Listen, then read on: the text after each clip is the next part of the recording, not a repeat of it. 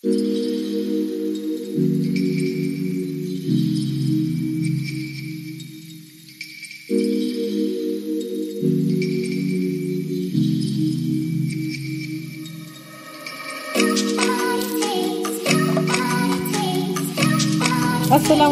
वालेकुम back to another blog कैसे हैं आप सब? मैं उम्मीद करती हूँ आप सब ठीक होंगे और शुक्र अल्हम्दुलिल्लाह, मैं भी बिल्कुल ठीक ठाक हूँ। आज के ब्लॉग का स्टार्ट करेंगे नाइट रूटीन से।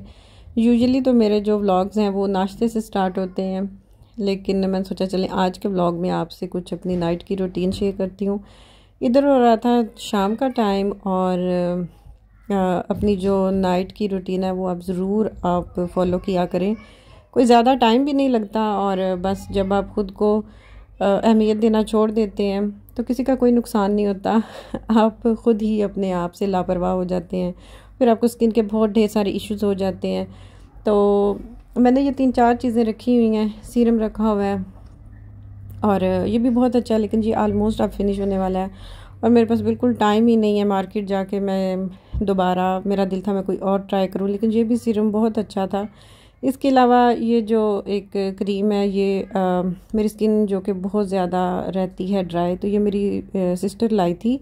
इटली से और इसके इसके साथ वो लाई थी मेरे लिए एक सीरम भी, जो कि बहुत अच्छा है और मैं ये अपनी जो नाइट की रूटीन है, पहले मेरे पास एक और थी क्रीम तो वो फिनिश हो गई है और अब फिर मैं यही यूज़ कर रही हूँ। और वेजलिन भी बहुत अच्छी है आपकी स्किन के लिए, अगर आपको सूट करे तो। ऑयली स्किन के लिए तो ये नहीं मैं रिकमेंड करूँगी, लेकिन जिनकी ड्राई स्किन है, वो वैसलीन भी ज़रूर ट्राई करें, ये भी बहुत अच्छी और थिक होती है और काफ़ी देर तक आपकी स्किन को ये डिहाइड्रेट रखती है। चूँकि मौसम अब जो है वो चेंज हो गया है तो शाम के टाइम मैं विंडोज़ वगैरह जो है वो क्लोज़ कर देती हूँ, क्योंकि शाम के टाइम टेम्परेचर जो है वो लो हो जाता है।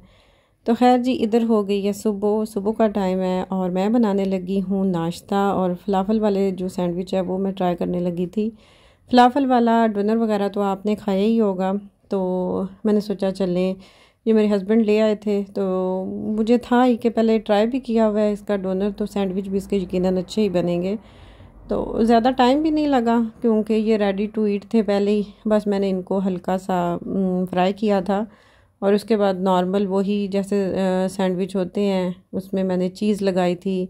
चीज़ स्लाइस जो हैं और मायोनीज़ लगाई, इसके साथ साथ जो सैलड लीव्स हैं वो लगाए। और बस यही तीन चार चीज़ें उसके बाद मैंने इनको सैंडविच मेकर में बनाया था और ये बहुत अच्छे बने थे। और क्विक और इजी रेसिपी आप चाहें तो बच्चों को नाश्ते में दे सकते हैं उनको स्कूल दे के भेजना हो तो, तो भी ये बहुत अच्छा ऑप्शन है।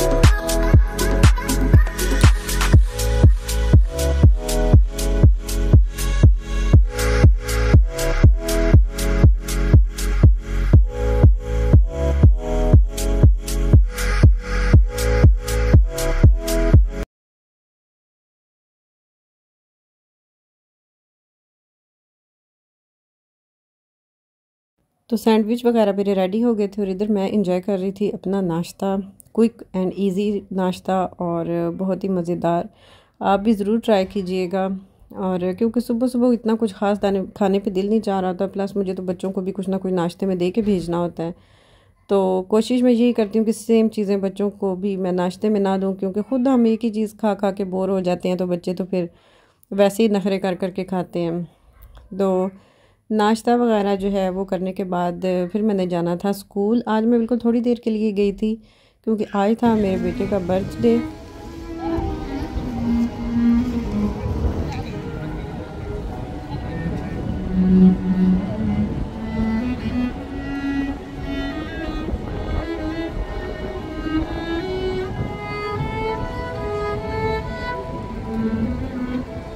मैं बिल्कुल अटेंडेंस लगवा के मैं वापस आ गई थी और मैंने देखा तो एक लड़की एंटरटेन कर रही थी लोगों को बैठ के और बहुत ही अच्छा वो बजा रही थी म्यूज़िक और आज था जी मेरे बेटे का बर्थडे और बस रूटीन इतनी बिज़ी थी कि और वैसे भी खैर केक बच्चे जो हैं वो छोटे हैं और वो अभी खाते नहीं हैं, उन्हें कोई ख़ास शौक़ नहीं है केक वगैरह खाने का।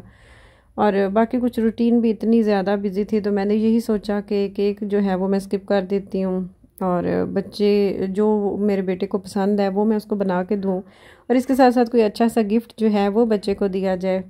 तो बच्चे को, यही बच्चों को चाहिए होता है। और माँ बाप विश करें बहन भाई विश करें। और जो मनपसंद खाना है, वो मिल जाए, मनपसंद गिफ्ट मिल जाए तो यही बर्थडे होती है। बाकी मैंने कोई ख़ास डेकोरेशन वगैरह मैंने नहीं की थी, बस बिज़ी रूटीन की वजह से टाइम ही नहीं मिला। और फिर मैंने सोचा कि चलें, उसको मतंजन पसंद है बहुत ज़्यादा। और मैं उसके लिए स्पेशल बना रही थी। मतंजन जो कि आपको पता है, आजकल सबको ही बनाना आता है। इसकी कोई ख़ास ऐसी यूनिक रेसिपी नहीं है कि किसी को ना हो तो खैर, लेकिन बहुत अच्छा बना था। अब तो खैर बना बना के वैसे ही इतनी आदत हो गई है कि अब अच्छा ही बनता है। तो इधर मैं अपने बेटे के लिए ये बना रही थी और उसे भी बहुत पसंद आया। हमारे घर में वैसे सभी खा लेते हैं। मुझे ख़ुद भी मतंजन जो है बहुत पसंद है। हालाँकि लोग आजकल स्किप कर गए हैं। अपने ट्रेडिशनल खाने आजकल और इतने ज़्यादा मीठे जो हैं वो आ गए हैं। और लोग फिर न्यू से न्यू चीज़ें जो हैं वही ट्राई करने की कोशिश करते हैं। लेकिन हमारे घर में अभी भी मतंजन जो है वो बहुत शौक से खाया जाता है। और आप देख सकते हैं कितना अच्छा खिला खिला कलर है और खिले खिले राइस हैं और बहुत ही मज़ेदार बना था। और राइस वगैरह खाने के बाद बच्चों के लिए हमने गिफ्ट ऑर्डर किए हुए थे और एक जो गिफ्ट है वो उसका पहले ही आ गया था। और फिर आपको पता है बच्चों से सब्र तो होता ही नहीं है। तो वो उन्होंने पहले ही ओपन कर लिया और बाकी जो है वो फिर हमने उसे उसी दिन बाय करके दिया था। और ये जो नज़र आ रहा है आपको टेबल आ, इसके साथ उन्होंने ये कुछ ब्लॉक्स वगैरह दिए थे। बाकी इसकी दो साइड्स हैं टेबल की एक प्लेन साइड है साथ उसके दो चेयर्स हैं और प्लेन वाली साइड पे आप चाहें तो बच्चे खाना वगैरह खा सकते हैं कुछ स्टडी वगैरह करना चाहें वो कर सकते हैं। तो काफ़ी क्रिएटिव टेबल था। ये हमने अमेज़ोन से बाय किया था और मैंने इसकी वीडियो वगैरह जो है वो पुराने मोबाइल में बनाई थी, लेकिन वो मुझसे डिलीट हो गई जब हमें ये इसकी डिलीवरी जो है ये मिली थी। ये साथ इसका मैप था और मैप की हालत आप देख ही सकते हैं। बच्चों ने क्या कर दी क्योंकि उन्होंने पहले ही ओपन कर लिया था। और बच्चों को बस यही होता है, नए ट्राइज़ और हालाँकि पेरेंट्स की तो यही कोशिश होती है कि वो बच्चों को सब कुछ लेके दें। तो एक हमने उसको साथ ये एक ट्रक बना हुआ था, इसमें छोटी छोटी गाड़ियाँ थी और वो कहता था, उसने ऐसी लेनी है छोटी छोटी गाड़ियाँ। तो फिर हमने उसे ये ये उसने अपनी पसंद से चूज़ किया था। और बच्चे खुश तो फिर पेरेंट्स खुश। तो ये थी जी हमारी बर्थडे और मेरी कुछ नाइट रूटीन जो मैंने शेयर की। मिलेंगे नेक्स्ट वीडियो में। अपना ख्याल रखिएगा। अल्लाह हाफिज़।